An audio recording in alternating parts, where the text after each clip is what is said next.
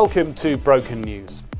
The United States is facing claims from the International Court of Justice that it's supporting human rights abuses. UN member states have signed a motion calling for an end to the backing of what they call flagrant and continuous breaches of the Geneva Convention. Let's cross live now to our political reporter Samantha Mumba, who joins us from the newsroom, which is literally just over there. Samantha, what are these accusations? Gordon, thank you. Well, the court today heard numerous claims of elder abuse.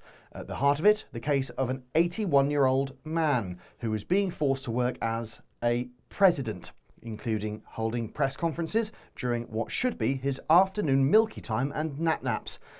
Shockingly, the UN says this octogenarian might still be years from retirement, despite his deputy being a sprightly and popular 59 year old woman with full bladder control.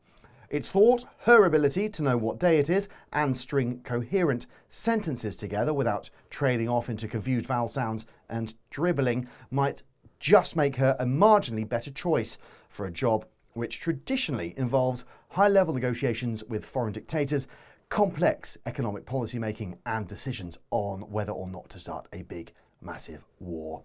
The US has defended itself by claiming the 81 year old is welcome to retire later this year if he agrees to lose a popularity contest with a much younger 77 year old adult baby. Gordon, back to you.